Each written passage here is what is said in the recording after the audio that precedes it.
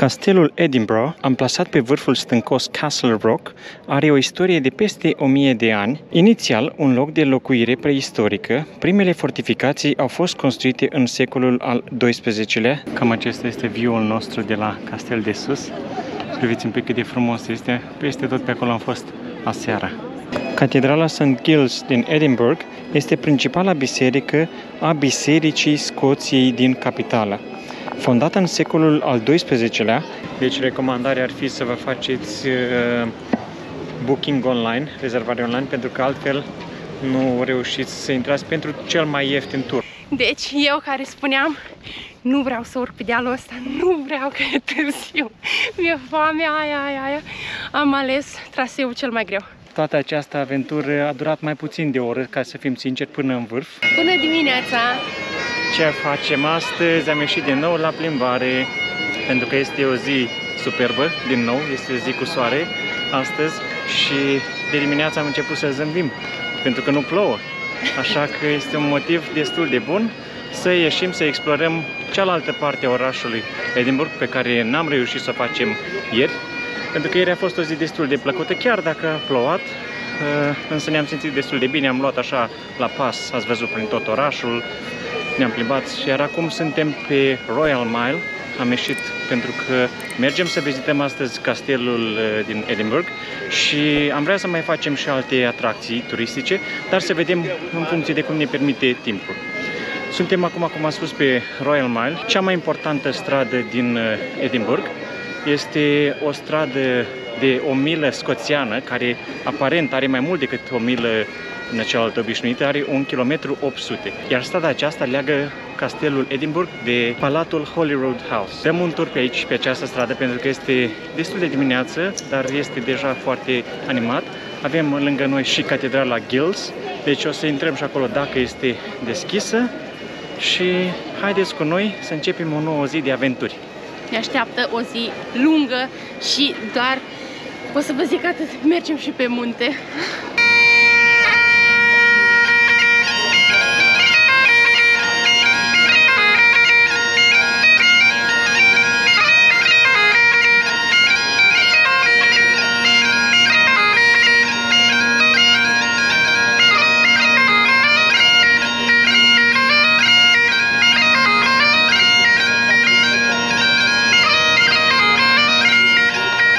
Castelul Edinburgh, amplasat pe vârful stâncos Castle Rock, are o istorie de peste 1000 de ani. Inițial, un loc de locuire preistorică, primele fortificații au fost construite în secolul al XII-lea de regele David I. Castelul a jucat un rol crucial în războaiele de independență scoțiană, fiind capturat și recucerit de mai multe ori.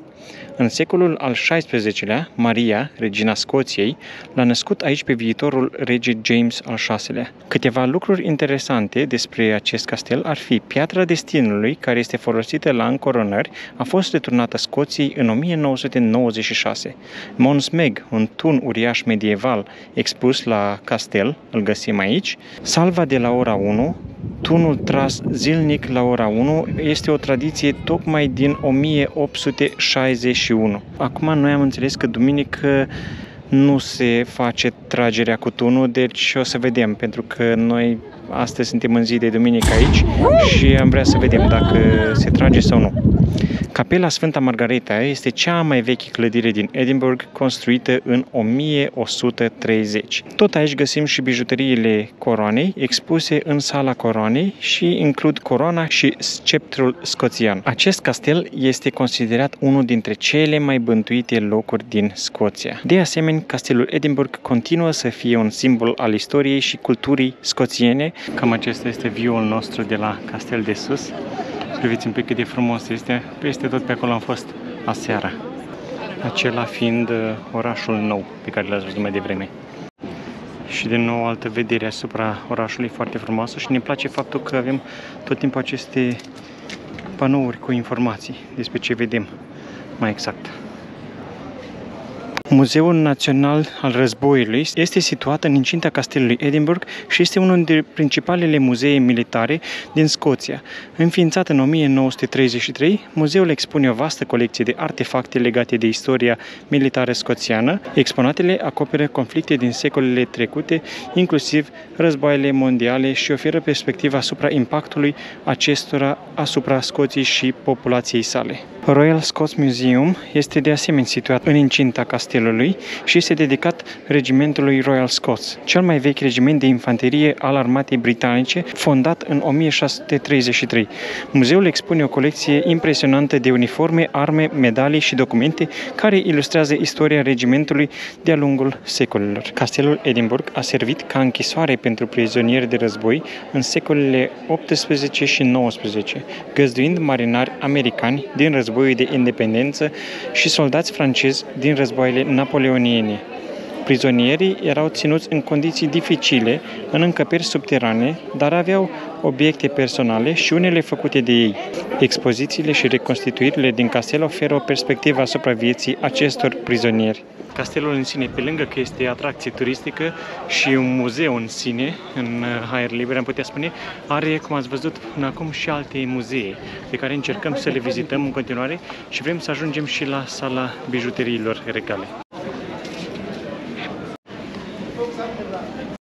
Și vedeți că noi am ajuns, chiar aici în spatele nostru se află coroanele regale, doar că, din nou, ca și în Londra, dacă vă amintiți când am fost la Tower of London, nu avem voie să filmăm sau să facem poze, așa că nu vom filma, dar cred că dacă dați un uh, search pe Google, sigur, 100% găsiți niște imagini cu bijuteriile acestea regale. Așadar, noi intrăm aici și o să revenim după cu impresii. Am finalizat și vizita la bijuteriile regale. Practic nu, nu este de văzut tare mult, adică este coroana, sceptrul, sabia și toate celelalte lucruri pe care un rege sau o regină le uh, poartă de obicei se stă un pic la coadă, dar merge destul de repede coada. Am văzut între timp și un alt memorial al uh, armatei scoțiene, după aia am văzut un pic și The Great Hall. Adică o clădire istorică situată tot aici în incinta castelului, construită în secolul al XV-lea și a fost folosită inițial pentru banchete și ceremonii regale. Și am terminat vizita la castel. Sincer, se merită vizitat. Mi-a plăcut enorm de mult. Multă, multă istorie. Îmi place istoria. Poate să vin aici. Da, este un, un loc într-adevăr frumos. Am descoperit cultura aceasta scoțiană și chiar ne-a plăcut să fim astăzi aici, pe vremea aceasta frumoasă, așadar vă lăsăm cu aceste ultime imagini de aici la castel și ne revedem din următoarea locație. Am uitat să vă spunem că vizita noastră aici a durat undeva în jur de două ore jumătate.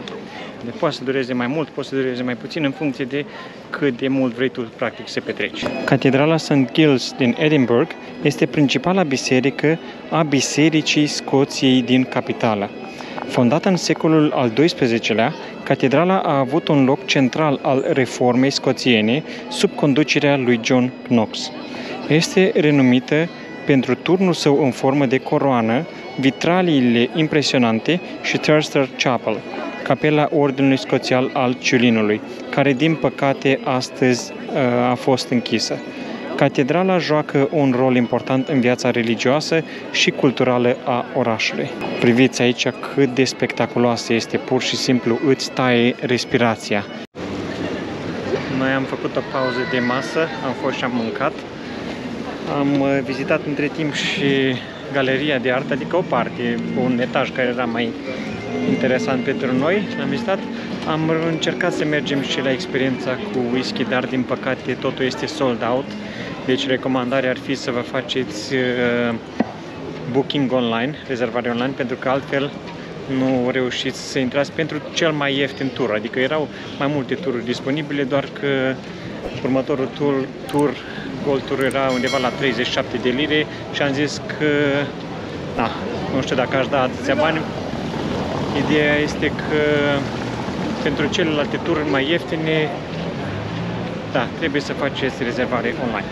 Acum a început un pic să plouă, luăm la pas din nou orașul pentru că vrem să mergem uh, la Arthur Seat sau tronul lui Arthur. Este un deal de aici din uh, Edinburgh și încercăm să vedem dacă reușim să-l uh, urcăm pentru că între timp a început ploaia. A plouat un pic, bine s-a oprit deja, dar uh, vedem.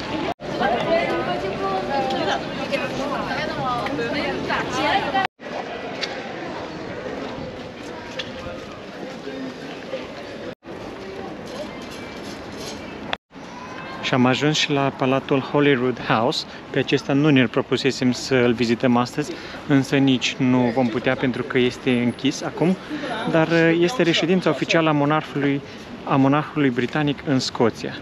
Este situat la capătul Ma- Royal Mile din Edinburgh și palatul a fost fondat în 1128 ca o abație, dar a devenit reședința principală a regilor și reginilor Scoției în secolul al XVI-lea.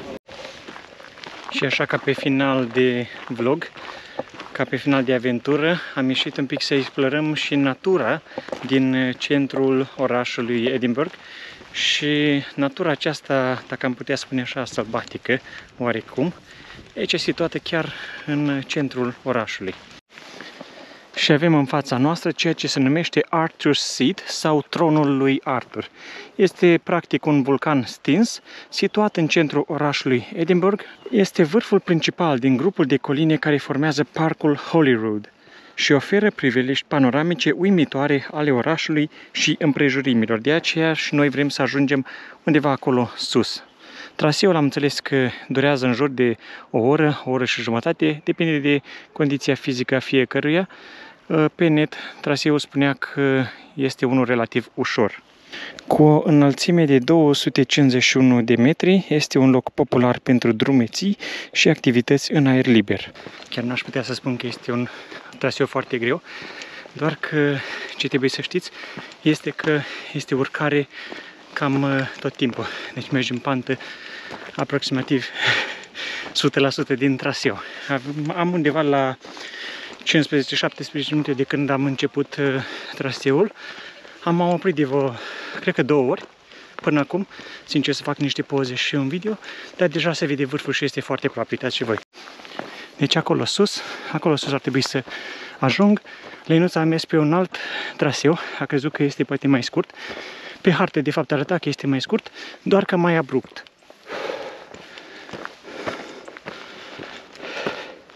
Eu am ales acest traseu deoarece este frecventat de mai multe persoane și cumva panorama este mai frumoasă de aici. Acolo fiind mai mult urcare abruptă, am zis că merg pe aici pentru că am peisajele acestea superbe. Am întors privirea un pic în spate și ia priviți aici ce spectacol. Și acolo și Lenuța venind de pe celălalt traseu. Deci, practic, urcare mai abruptă pe dincolo, mai lină pe aici, doar că eu am ajuns primul. Absolut superb. Deci, eu care spuneam, nu vreau să urc pe dealul ăsta, nu vreau că e târziu, mi-e foame, aia, aia, aia, am ales traseul cel mai greu. Hard, deci foarte hard. Și am cucerit primul vârf de aici, un vârfuleț mai mic, și suntem recompensați cu această priveliște. Chiar acolo în zare avem și curcubeu, nu știu cât se vede pe cameră.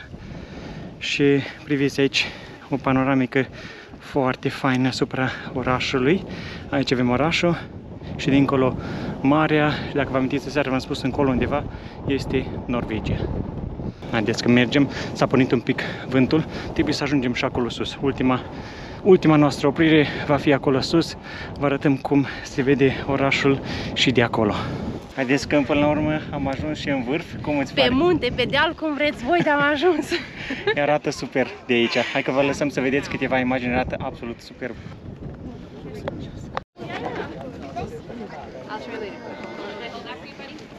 Toată această aventură a durat mai puțin de o oră, ca să fim sinceri, până în vârf.